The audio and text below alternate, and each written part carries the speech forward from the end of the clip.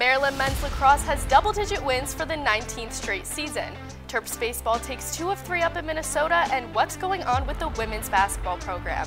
We'll answer that question and a whole lot more coming up on the Left Bench TV.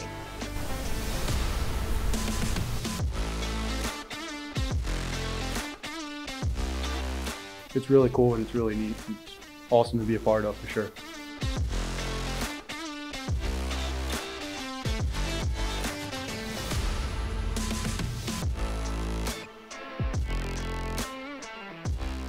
Hello and welcome back to the Left Bench TV, your sideline source for all things Maryland sports. I'm Tino Quagliata. And I'm Keara Bruno. Thanks for being with us. There's a lot we need to break down this week, so let's get right to it. Keara, Maryland men's uh, lacrosse was put to the test against a top five opponent Sunday night. That's right, Tino, and I was at Capital One Field to catch all the action.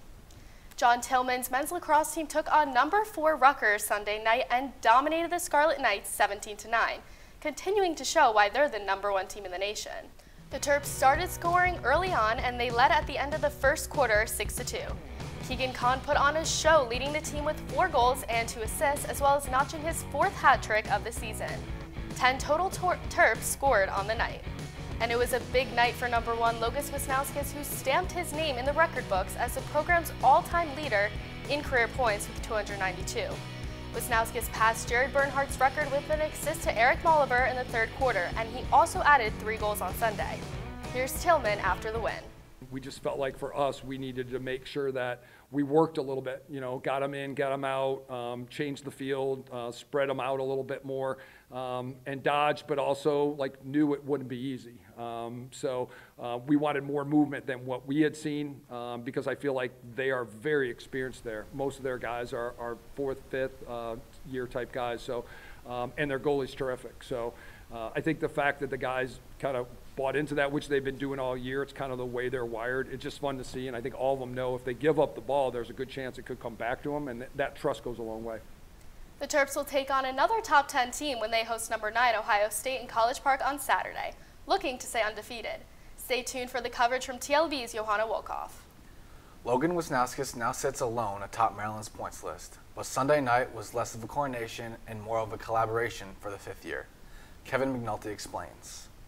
Three goals and or assists. That's all Maryland men's lacrosse fifth year Logan Wisnauskas needed to become the program's all-time points leader on Sunday. The Sykesville native started his day with back-to-back goals in the first quarter, just 22 seconds apart. They were his 28th and 29th goals of the season, which leads the Terps. The scores put him in a tie atop the list with his old buddy Jared Bernhardt, who was on hand for the milestone day then in the third quarter, history. Wisnauskas dished to Eric Malever to surpass Bernhardt in the record books. And after the game, Wisnauskas shared gratitude for his teammates and their brotherly bond. It's really cool and it's really neat. It's awesome to be a part of for sure. And, you know, you come here and it's really truly a brotherhood. You know, you get to meet like a, a bunch of people, you know, carry relationships for the rest of your life. Number one's assist to Malever was the 291st point of his Maryland career. And with 118, he sits fourth all time on the program's assist list. He never brings up like how many points. He doesn't play any different whether he scores or he doesn't score. He just loves playing. John Tillman has been coaching the Maryland legend for four years. And at this point in his career, he appreciates his ability to lead by example when a guy who's that good is still working on his fundamentals and it's early in the season, like the young guys see that. He doesn't take anything for granted. He's got a standard that he sets for himself, um, but it's never about himself. There's a new point king in College Park, and while his days are numbered in a Maryland uniform, his career and legacy won't be forgotten anytime soon. I joke with him sometimes. I'm like, what am I going to do without you? Um, but I want him to know even now before, like how much he's meant to us, how much he means to me, and how much I enjoy just being around him. For the Left Bench TV, I'm Kevin McNulty. Now, Tino, I was at the game on Sunday night, and so were the 2017 National Championship team. So it was so awesome they were able to be there for Logan's big night. And I know Jared Bernhardt and Logan are really good friends, so it was really cool for Jared to be there especially. Makira, the Hardshells aren't the only ranked Maryland lacrosse squad that's coming off a big win. The ninth ranked women's team hosted Penn State on Thursday, and despite the rain, it was the Emily Sterling and Aurora Cordingley show. Cordingley is leading the nation in points this season, so it was to no one's surprise that the graduate transfer led Maryland offensively, notching six points from five goals and one assist. On the defensive end, Sterling was on fire. The junior goalie set a career high with 13 saves on the day and is now leading the nation with a .56 save percentage this season. In her last three games, Sterling has totaled 31 saves and allowed only 15 goals. The Terps spread the wealth on the other end, with Eloise Clevenger netting a career high three goals and Victoria Hench scoring two. Maryland coasted to a 13-9 win over the Nittany Lions. It's right back to business for Cathy Reese's squad on Wednesday as they head to Jersey for a ranked matchup with number 12 Princeton at 7 p.m. They won't be, be back at the Plex until April 23rd for their home finale against the third-ranked Northwestern. You know, Keara, I'm really excited to see how the, the women's team will take this season going in for the rest of the spring. Yeah, I've been a fan of this team since I was younger, so they've been doing so well for so long, and it's very exciting. Well, just like women's lax had been on a roll before its most recent win, Maryland baseball made this trip to Minneapolis this weekend looking to extend its win streak to three. And they ended up extending it to four with wins on Friday and Saturday, so we'll pick this series up on Sunday. It was Savacool Sunday in the Twin Cities, but the Gophers didn't seem to care about that, as they tallied a pair of runs in the bottom of the first. In the next half inning, Maryland responded. Troy Schreffler Jr. with a double to right center to score Matt Shaw from first and bring Maryland within a run. Savacool would settle in as well. The sophomore tossed six innings of one-run ball after his hiccup in the first. He finished the day with three runs allowed on just four hits, while fanning seven. After Bubba Alleyne singled in Kevin Keister to cut the lead in half, the Terps turned to Villanova transfer Nick Lorusso to tie the game in the seventh. But Minnesota would take the lead back with an unearned run in the bottom of the eighth, stealing the last game of the series 4 3. Maryland softball is also on a roll after taking two of three from Purdue this weekend. It marks the Terps' third Big Ten Series win this season and the team's best conference start since 2015. The first game of Saturday's doubleheader saw Maryland fall to Purdue 5 2 but they bounced right back in game two. Michaela Jones was the star of Saturday's second game with a grand slam in the first to get Maryland on the board early and help them to a 9 0 win. Sunday's game secured the series victory after a tight 2 1 win. Up next, Maryland will host another Big Ten foe in 12th ranked Michigan. That series will kick off Thursday at 6 p.m., and TLB's Alana Renbaum will have the coverage. You know, Keara, I'm really excited to see what Maryland's big bats will do against an opponent like Michigan. Yeah, definitely. It will be a very interesting and exciting series to watch. Maryland tennis had had quite a successful season so far, standing at 14-4 before Nebraska came to town on Sunday. You're right, Tino, but the Cornhuskers shut the Terps out in their first home loss of the season.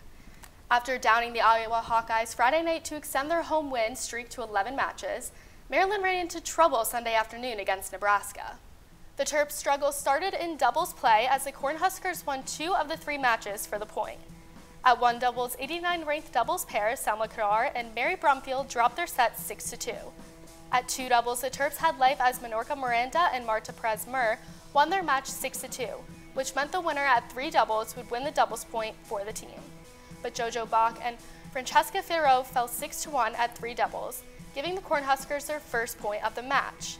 More struggles continued in singles action as the Terps dropped three more matches. Brumfield was defeated at four singles 6-0, 6-0. Bach lost 6-3, 6-2 at five singles, and the match was clinched by Nebraska's Christina Novak at one singles, as she beat Cadar 6-4, 6-2, and earned Nebraska the 4-0 win.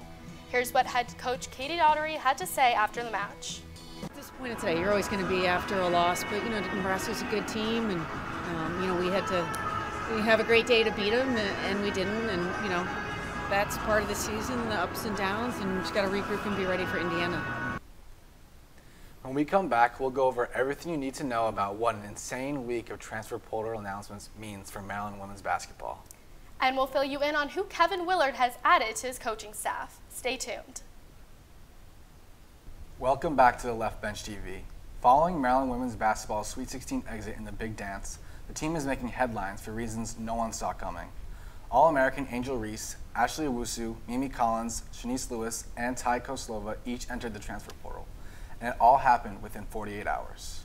We're now happy to be joined by Testudo Times women basketball beat writer Ben Dixon to go over what's been happening with the program and what it means for the future. Ben, thanks for joining us. Thank you guys for having me. So, after following this team all season long, all the way through their run through the Sweet 16, did you ever see this coming?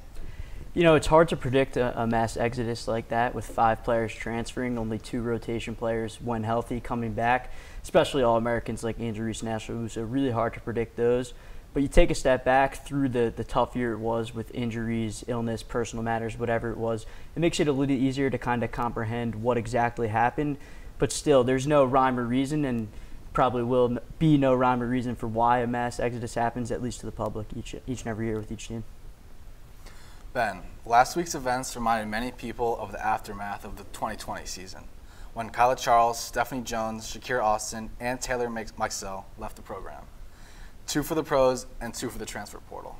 Is that comparison valid, and do you consider this a recurring problem for Brenda Frese? I think anytime there are a lot of people that leave the program, the comparisons have to come about. But with that said, uh, I wouldn't necessarily say it's a recurring problem for Brenda Frese, just given what she's done. Look at what she was able to do after that mass exodus, reloaded with you know Katie Benzan, Chloe Bibby, Angel Reese freshman year, Ashley Owusu, Don Miller taking a step forward in the 2021 season, or 2020, 2021 season, excuse me, losing in the uh, in the Sweet 16. But obviously, no one expected that from them the year they had there. So I think if there's anyone that you really shouldn't doubt in the coaching industry, it is Maryland head coach Brenda Frese, who's the best in the business when it comes to recruiting the portal, recruiting freshmen, just reloading teams. So recurring problem, maybe something to worry about. I wouldn't say. Now let's talk more about what Frese has done since everything went down last week. So just looking at social media, it seems like the 2021 AP Coach of the Year has blocked out all the negative energy and gone back out on the recruiting trail. Do you think she'll continue that approach? I think absolutely, and I think there's no reason why she shouldn't. Social media is a weird place in 2022. You look at Angel Reese the day after the season saying, I'll be back, we'll be back, trust me. And a week later, she's in the transfer portal and everyone's shocked. So things happen. It's, it's college sports, it's life. Uh, you got to expect the unexpected sometimes. But Brenda Frese obviously blocking out the quote unquote haters, blocking out some of the outside noise. It's definitely a good approach to take. She'll continue to do so. I mean, she got two four star, top 55 recruits today uh, back in the 2022 class. So I don't think there's anything to worry about there. Well, Ben, that's all we have for you. Thanks for thanks again for coming on and, uh, and processing all of this with us. Thank you, guys. Appreciate it. Be sure to keep up with all of Ben's coverage of the Terps on Twitter and online at testudotimes.com. Brenda Frese's squad isn't the only basketball team making big changes this offseason. TLB's Ricky Podgorski is here to fill you in on who's joining the coaching ranks of Maryland men's basketball. Ricky? Well, guys, Kevin Willard has been really busy filling out his squad for this upcoming season, making three new additions to his coaching staff. All of the new hires have a connection to Willard, a connection to the DMV, or both. Each was a priority for the new skipper during his selection process. First, joining the Terrapins coaching staff from fellow Big Ten school Ohio State is Tony Skinn. Skinn is a Maryland native and an 11-year coaching veteran. The most interesting part about this hire for Maryland is that Skinn worked with head coach Kevin Willard from 2018 to 2021 at Seton Hall. Skinn has all he needs to be a successful coach in College Park. He has plenty of chemistry with Coach Willard, he has coaching experience in a competitive Big Ten conference, and he is an elite recruiter and player developer. Skinn was a player on the historic 2006 George Mason team that made a Final Four appearance as an 11 seed, so he also has experience in the big dance. Next up, we have Grant Billmeier who, like Tony Skinn, was a member of Ken Willard's staff at Seton Hall. Billmeier was on the staff for 11 seasons will be following his boss to College Park. In a 2020 st stadium survey, he ranked second among top assistant coaches in the Big East, and he's considered one of the best big man player developers in the game. Seton Hall has had some of the best forwards and centers in the Big East, with players like Sandro Mamukelashvili and Ike Obiagu. Bill Meyer has plenty of promise to develop Maryland big men, whoever they can be. The last recent hire to the Terrapin staff is David Cox. Cox is a Maryland native and is coming home after serving as head coach at the University of Rhode Island for four seasons. Cox knows his way around the NCAA with more than 20 years of sideline experience. The most promising element he'll bring to the staff is his recruiting ability. The Terps ranked 45th nationally in their 2021 recruiting class and 61st in 2020. For a program that considers itself a top 10 destination in college basketball, that aspect could use some growth. Now, guys, there are two main things that stand out to me about this, these new additions to the coaching staff, and that's recruiting and experience. Many of these coaches have experience on that Seton Hall roster, and most of these coaches have DMV experience. So I'm really excited to see what kind of recruiting class we can get here and uh, what kind of top 25 potential this uh, next upcoming recruiting class can get. Yeah, definitely. I mean, Kevin Willard coming in with this energy, already picking up his staff, ready to go. That's what I think fans need right now. Yeah, I'm really and I'm really excited to see w- what he'll do in that first recruiting class uh, of his Maryland tenure. Now, we're not done yet because when we come back, we'll be joined in the studio by Maryland gymnastics coach Brett Nelligan to recap their historic season. We'll tell you which men's Tewaaraton winner is now an, an NFL hopeful, and it's not Matt Rambo. Then, of course, we'll crown our top five plays, Terp of the Week, and Pro Terp. Don't go anywhere. Welcome back once again to the Left Bench TV, where it's time to talk some gymnastics for likely the final time this year. Yes, it is. Tino, the Gym Terps were put to the test against some big time opponents in the NCAA regionals this year. How did they fare? Well, Keara, they actually made history in Raleigh, but couldn't advance past the major numbers Michigan and UCLA put up. In order to advance in the tournament, the 20th ranked Terps had to place higher than at least two of the teams in their quad meet. But taking down number 3 Michigan and number 14 UCLA proved to be no easy feat. The Terps 196.025 was the highest in program history at NCAA regional, but it wasn't enough to overpower UCLA's 197.6 and Michigan's 196.4, placing third in the meet ahead of UNC. They end their season with an 18-9 record and made history on plenty of accounts, from Audrey Barber taking the all-time program scoring record to earning their highest scoring ever at a Big Ten championship, to ending the season ranked 20th in the nation. It was a season no Gym Terp fan will be forgetting anytime soon. We're now so excited to be joined by the man behind the successful season, head coach Brett Nelligan. Coach, thanks for joining us. Uh, thank you guys for having me. Coach, let's start with regionals. Though it wasn't exactly the ending you would have wanted for the season, you guys still made history with your highest ever score at NCAA regionals. Can you sum up what that day was like for your team? It was an incredible experience, and I- was so proud of this team for everything they've accomplished all season. And um, we really just didn't want the season to end. So, you know, they, they battled and they fought, and we were trying to get to that next round. But um, I think what we've established as an expectation for our program is that um, we're a team that can compete for Sweet 16 and, and further on um, from here on out. So it was a great day, and um, I'm just really proud of the team. The end of a season always means the loss of seniors. You're losing some big names next year, especially Audrey Barber. What has it meant to watch your seniors grow over the last few years? And looking ahead, how excited are you for incoming freshmen? Yeah, I've really enjoyed uh, their journey um, from coming in as freshmen and, and now to this their senior year, and to leave their their name on the program that the way they have um, has been incredible, and I've loved being a part of that journey. Um, we'll certainly miss them, and um, not just their scoring, though. It's really what they brought to the table as leaders, as upperclassmen, as teammates, as um, athletes, and what they meant to this university as well. So um, we'll miss them, but they're off to do great things, and we're proud of them already. Now, looking back with Audrey breaking the program record, Emma and Aleka coming back from major injuries, multiple record breaking performances, it's been a pretty historic season for you guys. So, what has it been like for you, and what are you taking from it?